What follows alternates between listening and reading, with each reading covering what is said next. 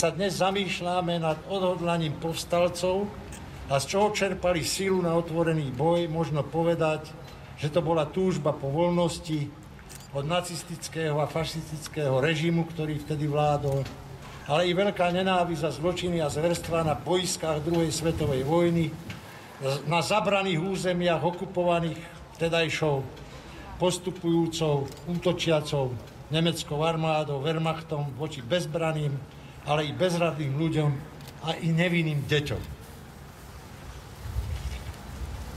Pripomíname si tedy jubilejné dnes 74.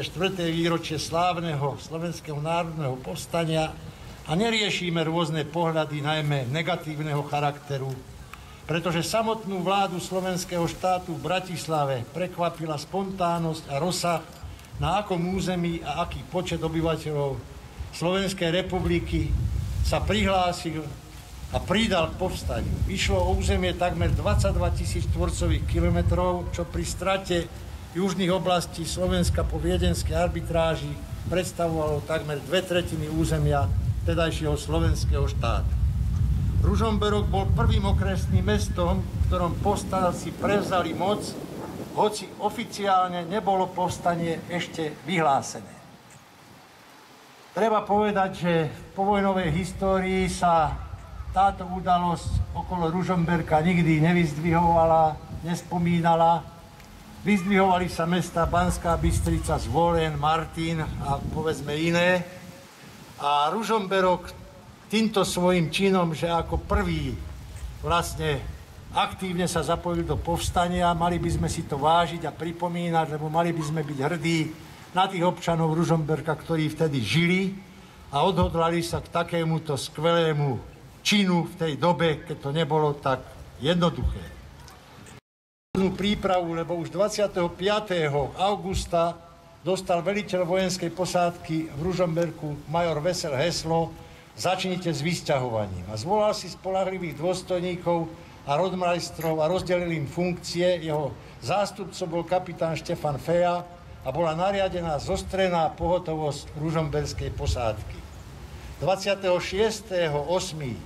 To znamená, ešte stále nie sme v dni vypuknutia povstania.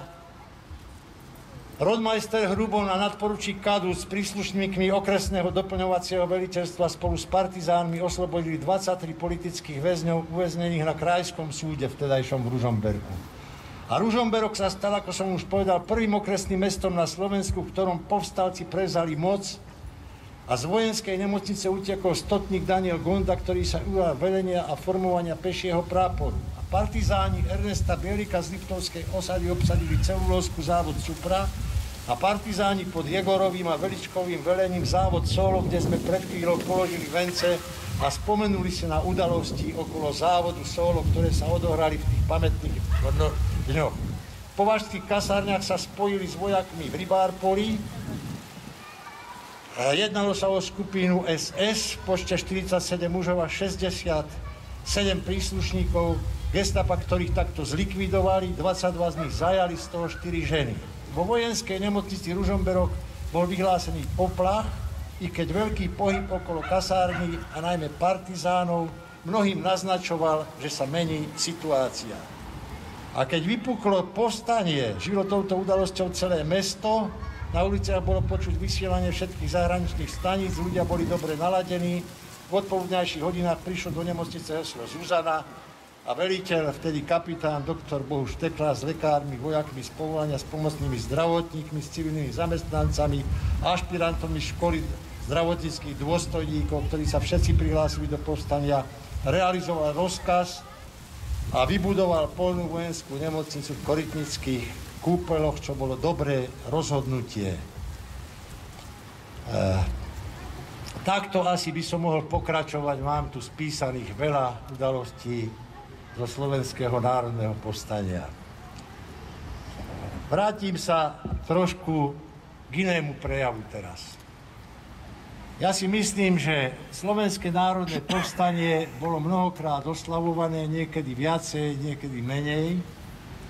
Ja si myslím, že v Ružomberku sa to intenzívne prežívalo, pretože Ružomberská vojenská nemocnica, vtedy pod číslom 11, také mal, taký mala názov vojenská nemocnica Ružomberok 11, zohrala v postaní veľmi dôležitú úlohu, pretože podľa veliteľstva Československej armády, ktoré bolo v Bystrici a ktoré pripravovalo plány o zdravotníckom zabezpečení na povstaleckom území a naboj v horách, mala táto nemocnica rozhodujúcu úlohu, aby zabezpečila tedy tieto boje, pretože bez vojenských lekárov, bez sestričiek, bez ošetrovateľov, bez zdravotníckého zabezpečenia bojovať sa nedalo.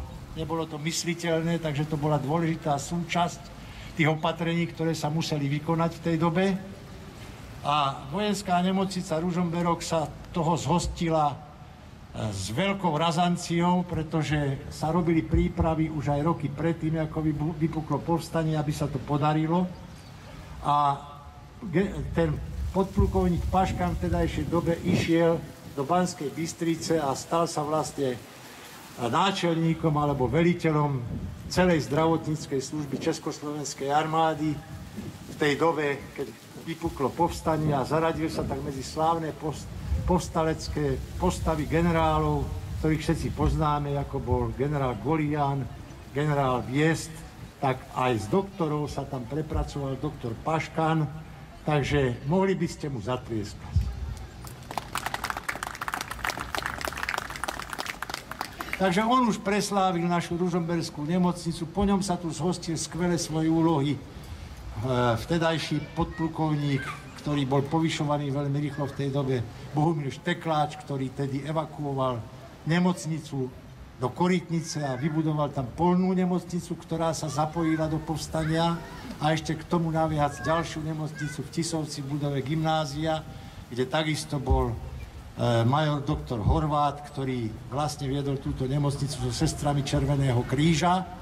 A tých povstaleckých nemocníc bolo viacej, bola v Dobšinej, bola na Sliači povstalecká nemocnica, bola povstaleckých nemocníc, bolo tedy v mnohých mestách v Banskej Bystrici, takisto bolo e, vojenské zariadenie, ktoré sa zapojilo do povstania, to bolo v budove Vincentína, čo bolo tedajšie gymnázium, ale chcem povedať len toľko, že všetky tieto nemocnice boli vlastne riadené a e, by som povedal, dané do pohotovosti a plne výkonné len pod velením ľudí z Ružomberskej vojenskej nemocnice. To znamená, Ružomberok vlastne to bolo také hlavné mesto a také centrum vojenskej medicíny už vtedy, ktorá vlastne sa plne zapojila do povstania a sú o tom rozsiahlé monografie. Je to veľa doktorov, veľa významných osobností, ktorí sa preslávili v tých časoch, lebo zachránili veľmi veľa ľudských životov a preukázali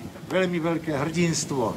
Tu v Ružomberku to boli aj občianskí zamestnanci, ktorí to dokázali aj v tých zariadeniach, ktoré sa pridali k týmto tým polným nemocniciam, lebo do tohto vlastne procesu sa zapojila aj štátna nemocnica v Ružomberku, aj nemocnica v Liptovskom Mikuláši a vlastne takto by sme mohli poskladať mozaiku tých ľudí, ako bol e, občianský zamestnanec, tedy Dudka, ktorý sa hrdinsky zachoval, sestry Vicenová, Ferenčíková, e, potom doktor Kravčenko, ktorý pôsobil vo vojenskej nemocnici Ružomberok. Za nimi zostali tedy skvelé činy a všetkých tu nebudem menovať a môžeme byť na nich hrdí a že nám zanechali takýto odkaz a že my môžeme dnes, keď tu robíme aj takúto komornú oslavu, sa opierať o skutočné historické udalosti, skutky a činy ľudí, ktorí pôsobili tu v týchto miestach, kde my dnes stojíme.